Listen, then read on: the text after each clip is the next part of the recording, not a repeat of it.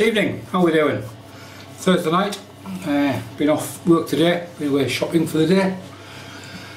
Six hours round trip in the car, so just fancy having a freshen up.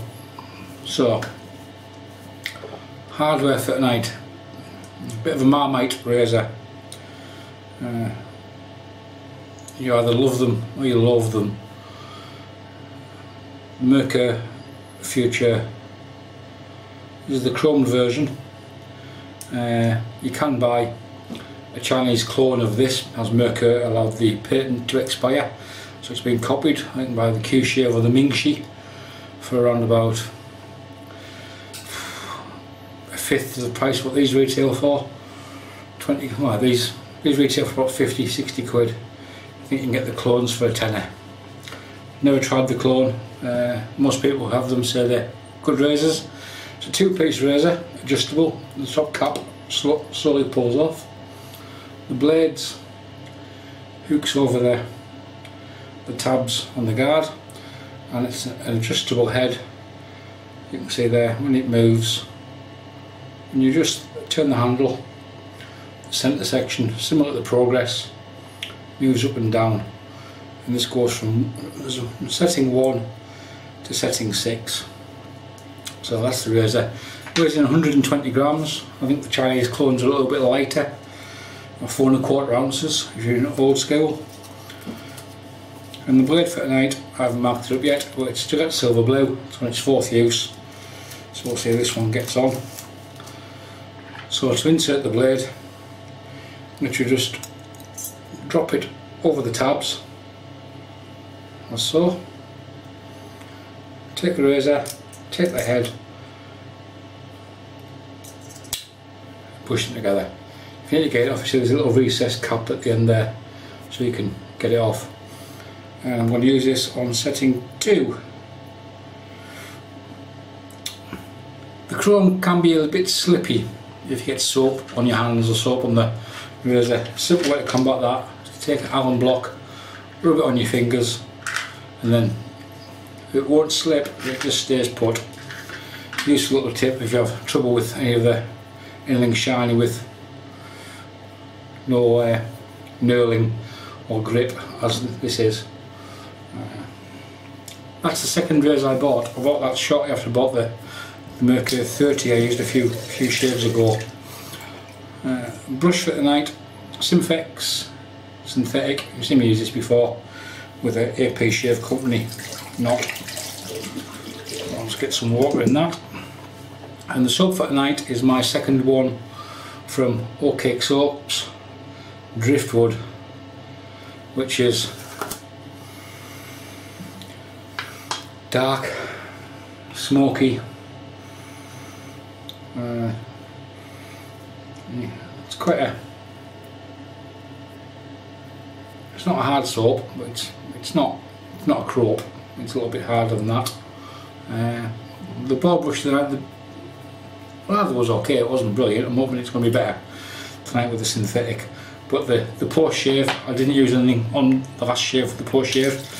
Just the soap as Ed, the soap maker, recommends.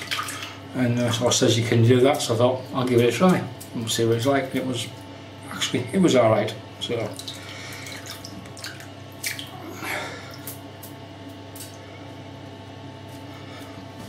That's it, let's get some heat in the brush. I'll just drop the blade in the bowl, get some heat in that.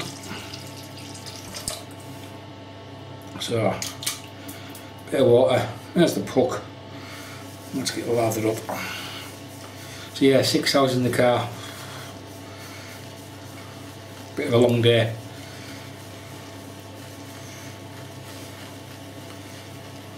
So as I come home,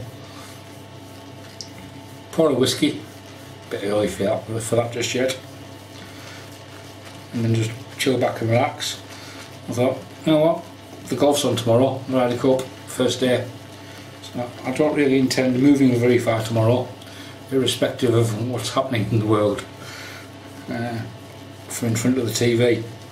So I thought if I have a shave tonight, that'll be the shave out the way, and we'll get the next one done for the weekend. You may well notice the lights are on.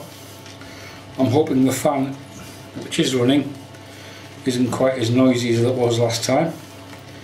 Uh, as I said last time I haven't got any option with the fan because it's hardwired to the lights. So we've got a decent load in the, in the brush. I'm just going to pick up what's on the puck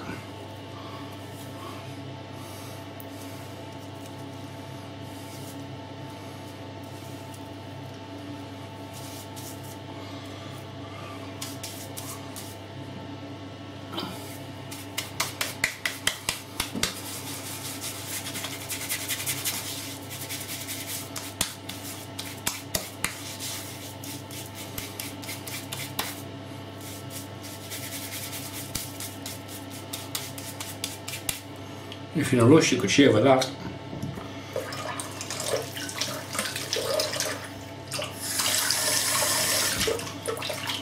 Still in a, in a tin tin.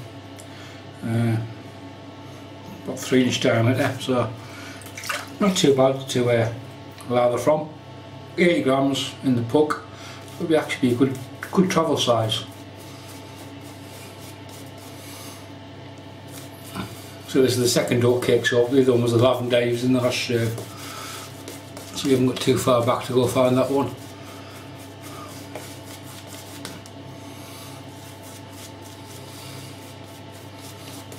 If you want to go and watch it. Hmm.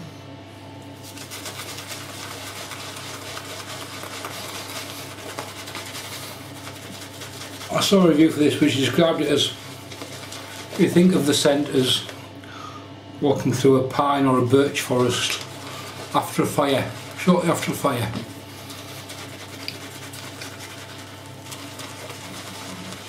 It actually smells quite apt like that in the tin. Cracking like that. For very little work at the moment.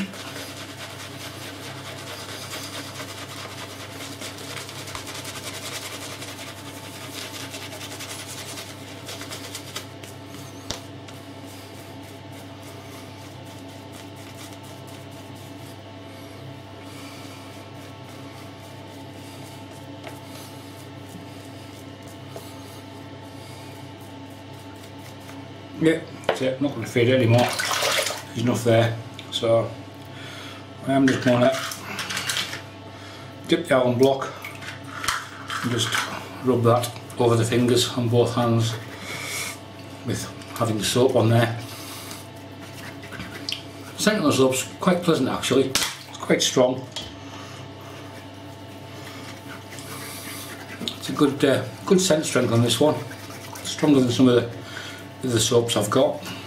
Uh, but yeah, nice.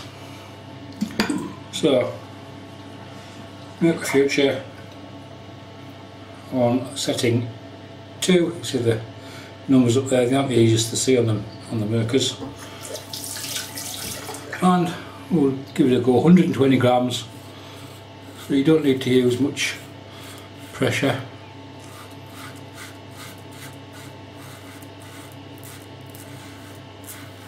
Any pressure, the weight of the razor is enough. Even on the fourth use this blade's just well, I've only got the number two because I've still got some cold sores over here. I don't want to rip them apart with a razor blade.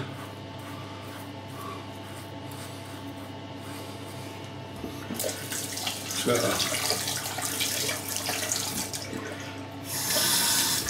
keep this one mild tonight. The only other thing with this razor you rinse it under really hot water with it being solid brass and chrome. It does get hot.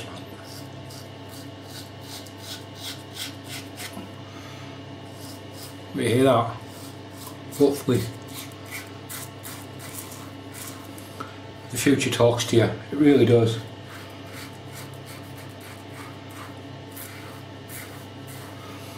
I found the shave quite similar to the Progress the heads are quite the progress isn't as bulky as this in the head design. But the manner in which it shaves and the amount of response it gives you from the blade is very very good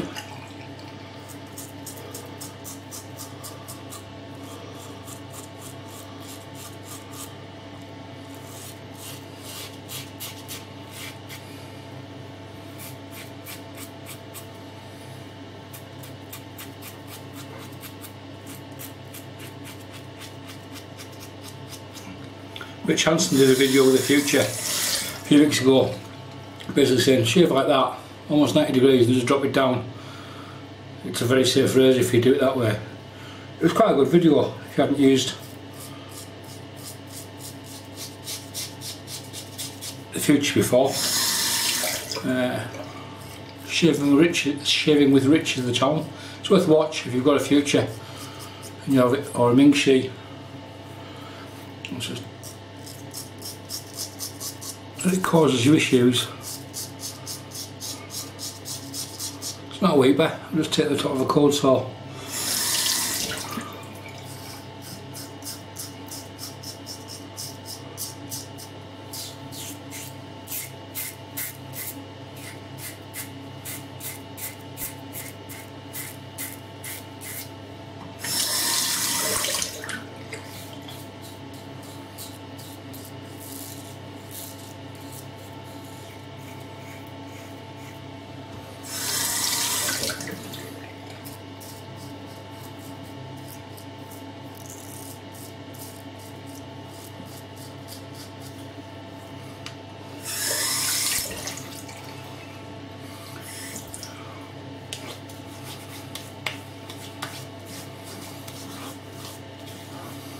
Tell you, the fuse not blade, there is not a lot left there on setting number two.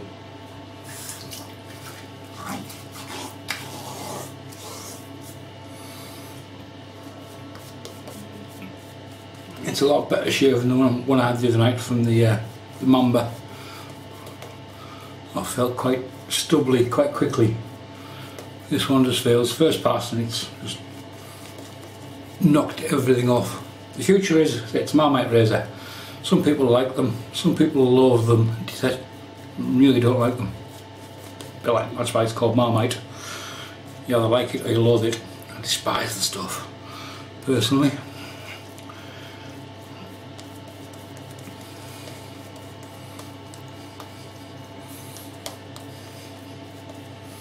I'm not going too voluminously too, yeah, making the lather too big. I'm just keeping this one nice and simple.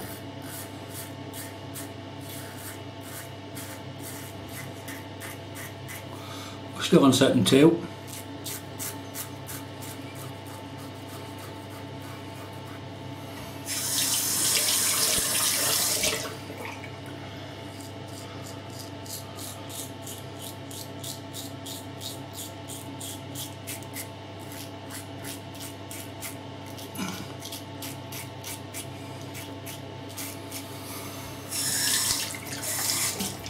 Liking the scent on this soap, I must admit. Personally, I think it's cracking. One thing I would say with this, when you go under your nose, see they've got the dome end and the handle end with a little thumb grip on it. If you push that up next to your nose, you get the blade quite far up. It's, it's not the easiest to shove under your nose with it being such a large head.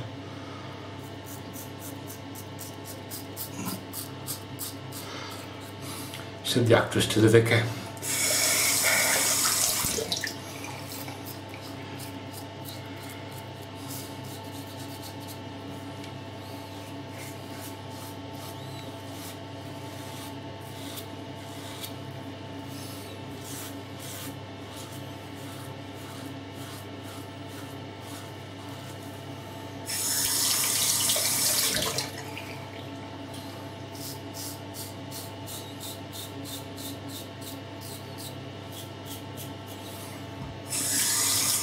Got the camera set a, bit, a little bit differently tonight as well, got a bit higher than what I normally take it. So hopefully, wasn't sure it would work or not. Cracking, absolutely cracking. I could just stop right there quite easily. However, another across the Green Pass a little bit of water to the tips.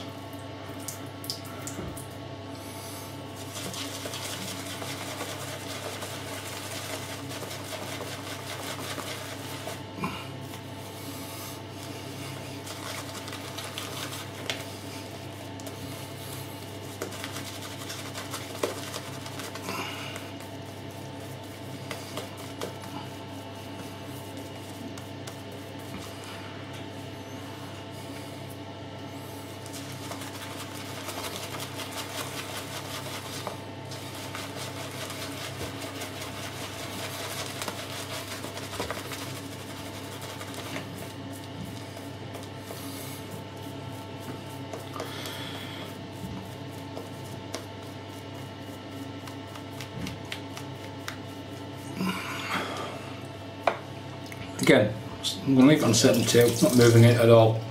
It's going to go straight back across the grain in the direction.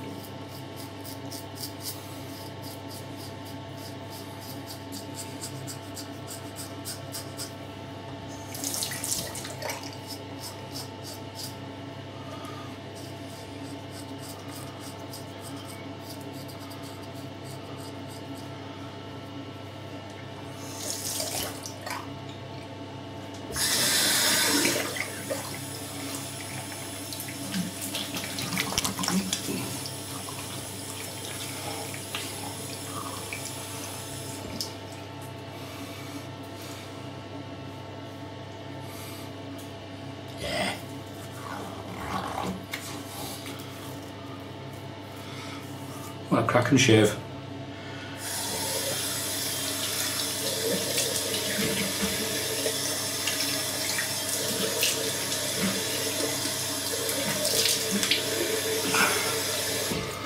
Okay, it was just cold water. What I'm going to do is pull out any remaining soap in the brush, which isn't a lot, apply it to the face.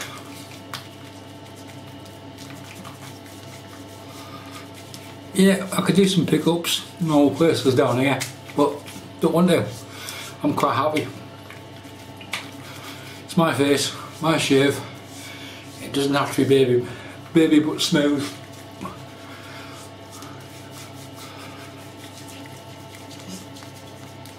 I could chase it and cause irritation.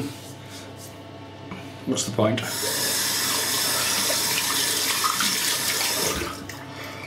Saying that, however, I'm just going to turn this down to number one.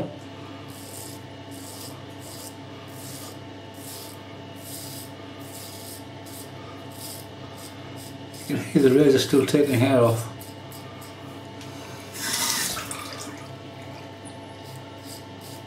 The progress is very similar in the manner it shaves out for me, I think.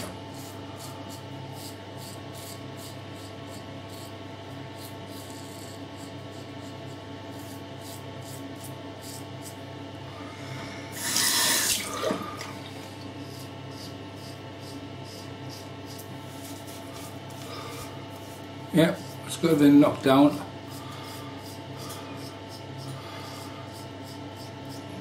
Not there, it's a little little spot. Not there was a cold saw.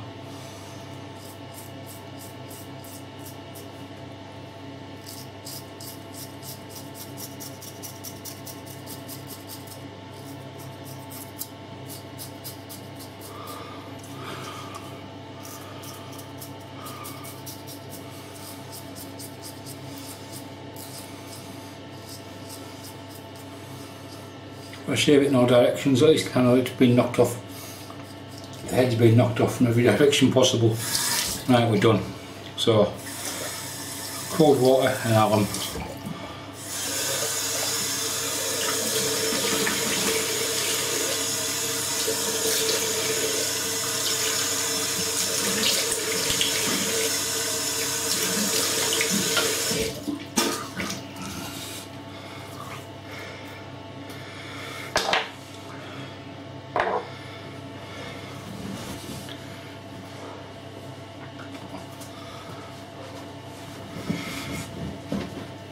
That's the cold really. Um,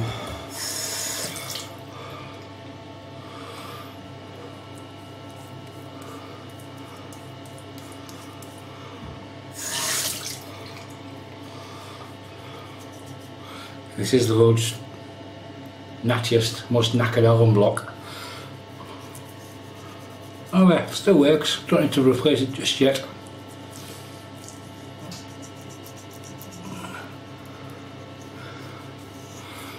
Well, outside of the areas where the where the blood is, there's no issues, no problems. A little bit, of, a little bit of stinging down here. I did that, knock the heads off on like the fourth, the fourth pass. I wasn't going to do when I went chasing. That I didn't mean to do. But hey,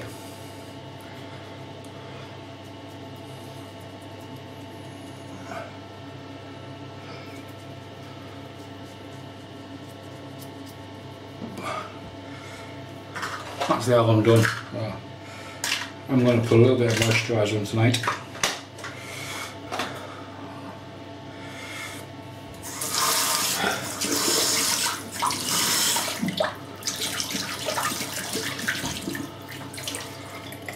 Before we do that, quick run through the hardware for today. Razer, Merkur Futur, Chrome on setting 2 and setting 1. Gillette Silver Blue on its fourth shave. SimFix handle brush, AP Shave Company Knot 24mm which worked that soap I think personally better than the, the ball brush did I think I'll have to introduce that uh, Semogue brush to uh, shaving ball in the near future so you can have a chat with it. And the soap, Oatcake soaps from London, driftwood. Ingredients on the side of the label should you wish to read them. Good salt, nicely moisturising and we just finished off there with a little bit of alum just to ease up one or two little things that we nicked, which was, I'll have nicked them with any razor tonight.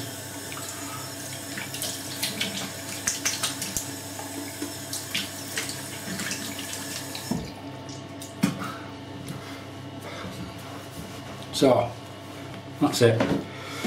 And post shave wise, L'Oreal Men Expert. Soothing Birch Sap. I thought we were using driftwood soap. I use Birch Sap Shave Balm.